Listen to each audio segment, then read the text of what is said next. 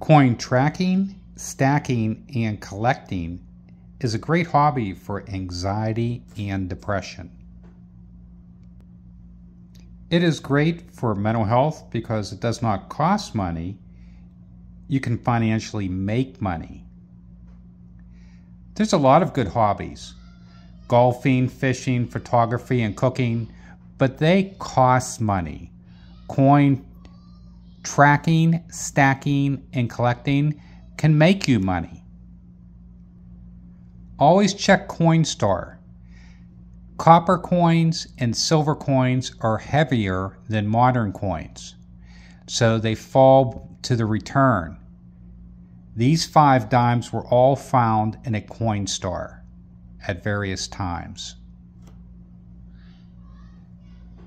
A silver dime is worth approximately $3, a silver quarter approximately $5, and a silver half dollar approximately $12.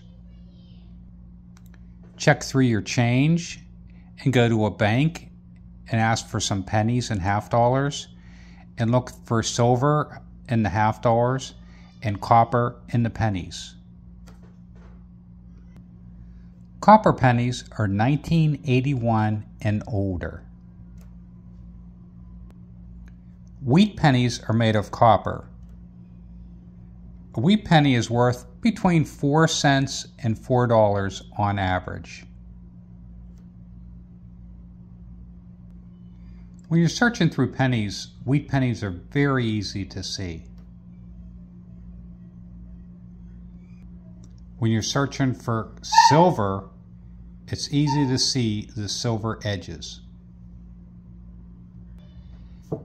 Enjoy your coin tracking.